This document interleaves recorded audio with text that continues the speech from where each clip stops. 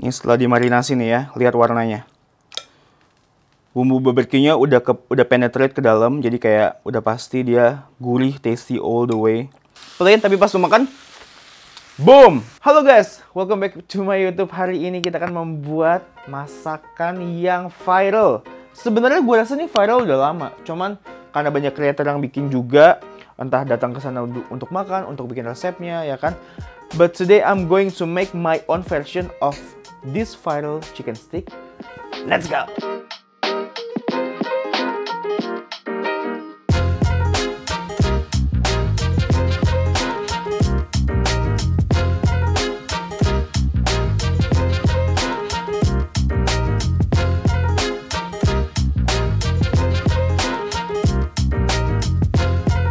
Oke, okay, first stepnya kita akan membuat dulu sausnya. Sausnya ini tujuannya untuk marinasi dan juga untuk side dish. Eh, bukan side dish. Apa namanya? Dipping sauce. Oke, jadi nice pan here. Kita masukkan barbecue sauce yang udah jadi. Jadi barbecue sauce yang udah jadi ini biasa dia cukup strong dan yang gue lihat dari yang viral-viral ini dia udah di tweak atau dimodif lagi ya, kayak mobil dimodif. Ini ada sambal Bangkok, barbecue sauce, tomato ketchup atau saus tomat untuk memberikan nice acidity dan umaminya ke dalam sausnya right? Black pepper because we need some spice more spice. Nah ini gua. Kalau gua pakai rosemary. Jadi biar lebih western dan rosemary ini sekarang udah murah guys. And for the signature ingredients from Wilgo's Kitchen my precious saus tiram kita akan taruh sekitar 2 sendok makan. Semua ini akan kita masak di api yang sedang. Jadi biar dia punya waktu untuk saling mengikat menjadi satu sebagai saus yang dewasa untuk kalian para pengagum steak ayam. Oke, jadi sausnya ini kita akan masak di pan dengan api yang kecil. Begitu udah rata tadi diaduk Terus Jangan lupa juga untuk dicek konsistensinya. Kalau menurut gue ini kekentalannya udah pas. Kenapa? Karena by the time dia nanti agak dingin itu makin kental. Nah, ini udah cukup. Kita akan angkat nih sekarang. Nah, kita bagi dua sausnya. Kenapa? Karena setengahnya itu untuk nanti jadi dipping sauce atau saus yang akan kita puring di atas ayamnya. Setengahnya untuk dimarinasi yang tadi gue udah bilang juga. Habis itu kita akan simpan di kulkas untuk marinasi biar tetap fresh chickennya. Nah, Ayamnya udah di kulkas, ya kan? 30 menit aja cukup. Dan sekarang kita lanjut next untuk ngurus si sayurannya. Ya, sayurannya ini pakai broccoli, pakai baby corn and potato. Kan kalau misalkan di video-video viral kalau mau simple memang pakai frozen vegetables yang you know yang bisa tinggal kalian buka tumis-tumis kelar. Itu boleh juga. Tapi gue nggak suka frozen vegetable karena manisnya, nutrisinya tuh udah nggak ada. Sedangkan sayuran itu sebenarnya murah, ya kan? Nah, ini brokoli udah dicuci, udah dipotek-potek, ya kan? Ini dia, baby corn kita akan bagi dua. Jadi untuk baby cornnya ini kan ada yang gede banget ya, yang udah remaja. Kalau ini kan emang baby beneran gitu loh. Jadi kalau terlalu kecil nggak usah dibagi dua kayak gini. Kalau yang dia udah mulai menginjak dewasa remaja kita bagi dua. Kalau yang gede banget tuh ada yang udah mau jadi jagung beneran. Nah itu bagi empat ya. Untuk kentang yang ini nanti kulitnya bakal gue cuci lagi ulang ya. Jadi gue nggak akan kupas. Kenapa? Karena sebenarnya banyak flavor di dalamnya ya. Padahal intinya adalah apa? Malas. Enggak sih, karena lebih tepatnya kayak gue ngerasa kulitnya tuh bersih kan. Nggak, nggak begitu yang banyak tanah, jorok. Jadi kayak nggak apa-apa dimakan aja sekalian biar nggak ada food waste juga ya. Put it there. Put it there. Alright. Rendam air biar dia nggak hitam. Oh sama jangan lupa untuk masak air terlebih dahulu ya. Jadi biar nggak nunggu. Terus jangan lupa juga tambahin garam ya. Kita tunggu sampai dia mendidih baru kita akan blanch dulu. Kita rebus kentangnya terlebih dahulu. Bu. Ditutup. Cepat. Ini buat nanti kita ngesir atau ngesote sih potetonya ya. Pakai garlic juga. Ini kita rebus kurang lebih sekitar 7 menit karena gue pengen bener-bener empuk tapi nanti di, di luar tuh kayak agak-agak golden garing gitu loh. You know, you know what I mean? It's gonna be good, you know.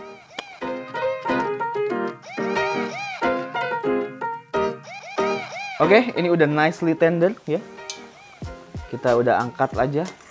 Dan air jangan dibuang. Kenapa? Karena kita akan lanjut untuk ngebalance lagi si broccoli. Ya.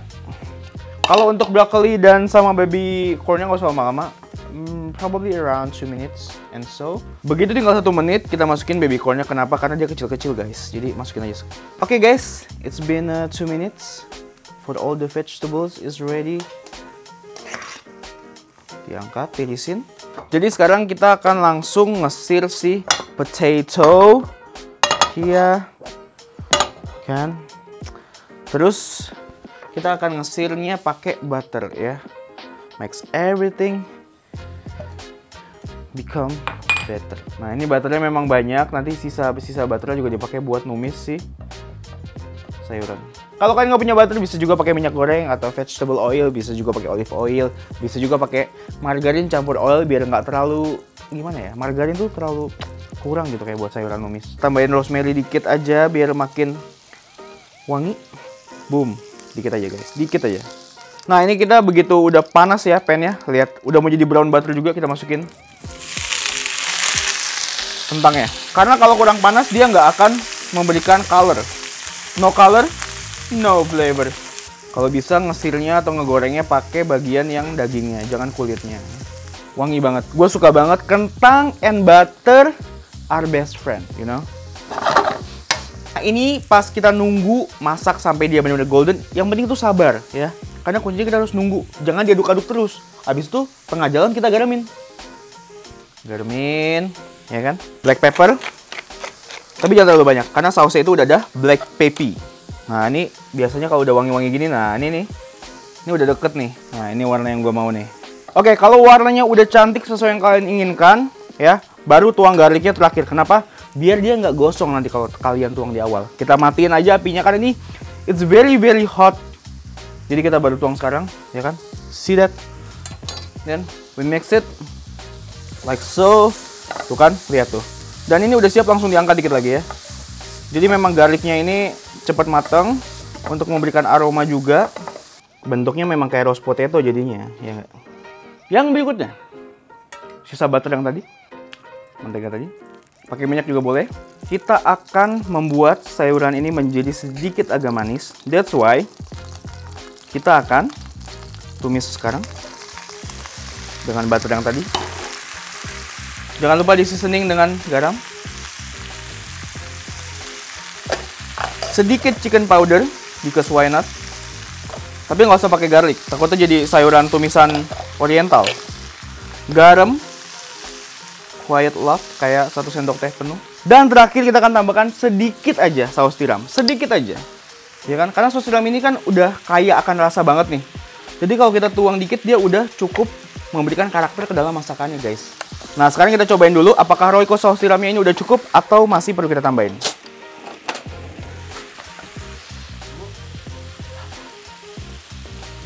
Hmm, wah. Gurih, asin, manis, ya kan? Ada butternya. Dan Royco saus tiramnya ngebuat ini menjadi beda banget. Kelihatannya simple, plain, tapi pas makan, boom! Nah, habis itu kita langsung sisihkan. Sayuran jangan terlalu lama, gue pengen tetap garing tapi rasanya udah matang semua nggak ada mentahnya ini setelah dimarinasi nih ya lihat warnanya bumbu barbeque-nya udah ke udah penetrate ke dalam jadi kayak udah pasti dia gurih tasty all the way. Dan ini siap kita grill. Kalian pakai pan yang ini aja. Uh, yang non-stick pokoknya. Apinya gede. Sampai berasap kayak gini ya kan? Lalu kita langsung akan sear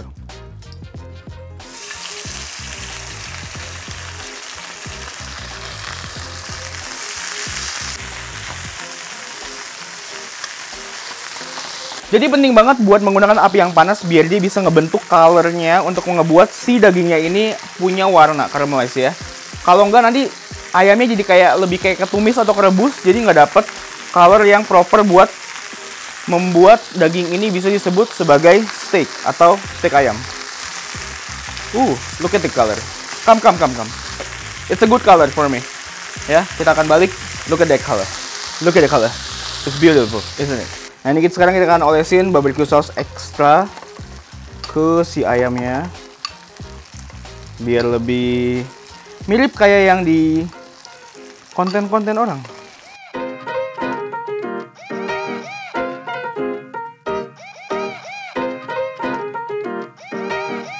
Oke, ini menurut gue udah matangnya pas, udah nyelap juga pasti ya.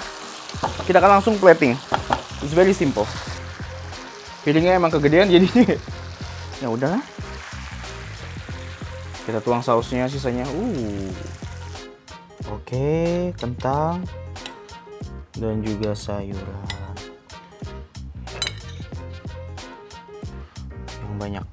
Nah ini dia, taruh di sini tapi karena ini looks like eh, nggak uh, nggak apa ya nggak nggak bisa dimakan jadi kayaknya nggak usah gini aja udah jadi para moms di rumah dan ini looks like a proper chicken steak at home to me dan kalau kalian butuh extra sauce kalian masih punya spare sauce kalian tinggal tuang aja. Because personally gue juga suka makan steak mau beef mau chicken dengan sauce. There's nothing wrong with that gitu. We put more. Aha uh Look at that, look at that, that, that, that bad boy sauce on the top of my chicken. Alright, let's dig in. Chicken, ooh. Ah, gila cuy. It's beautifully cooked. Look at this, look at this, look at this. I mean,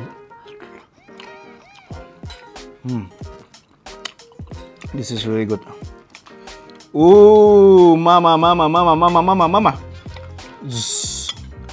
Dimandiin pakai sausnya.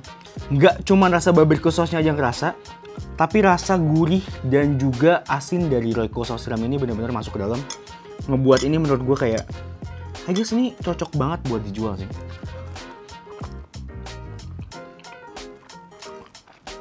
Gurihnya sampai masuk banget guys. Cukup dimarinasi 30 menit. And the potato Hmm. Wangi garlic, rosemary, butter, sama kentang. Hmm, empuknya pas. Enak juga gurih. Sayurannya, sayurannya emang kita buat nggak terlalu strong ya, netral. Jadi biar ngebalance. Tapi tetap karakter dari saus tiramnya tuh ngebuatnya jadi lebih enak. I think that's all guys. Gue mau makan dulu. Buat kalian yang mau cobain langsung aja resep gue taruh di bawah. Cool guys and I'll see you guys on whatever next recipes or video. Bye bye.